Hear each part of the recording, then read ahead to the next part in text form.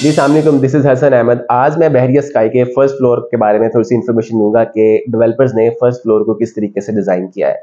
जैसे ही आप एक्सीटर से ऊपर जाते हैं तो सामने आपके जो शॉप्स हैं, ये बेसिकली 60 फीट फेसिंग है। इसके सामने ऑर्चर्ड मॉल है। और घूम के जब आप फ्रंट पे आएँगे फ्रंट पे फेसिंग डेढ़ सौ फीट बुलेवर्ड मेन बुलेवर्ड की शॉप्स हैं, जो कि तकरीबन 508 स्क्वायर फीट से स्टार्ट होकर 1007 स्क्वायर फीट की हैं। खूबसूरत लोकेशन की शॉप्स हैं ये। और सेंटर में आपको जो शॉप्स मिलेंगी, वो इससे थोड़ी सी छोटी हैं। वो तकरीबन 192 स्क्वायर फीट से तकरीबन 242 स्क्वायर फीट की हैं। इस वक्त टोटल अगर हम लोग देखें फ़र्स्ट फ्लोर पे 74 शॉप्स हैं।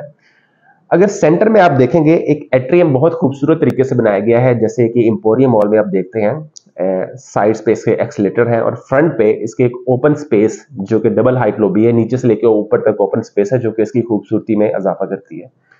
इस वक्त बहरी औशर की one of the finest and one of the tallest building है अप्रूव टॉलेस्ट बिल्डिंग है, एक अच्छी इन्वेस्टमेंट है। इस वक्त अगर आप साइड पे जाएँगे आई गारंटेड यू कि आप इसमें इन्वेस्टमेंट करने में मजबूर हो जाएँगे, क्योंकि बहुत कम अरसे में इन्होंने बहुत ईजी कंस्ट्रक्शन की है।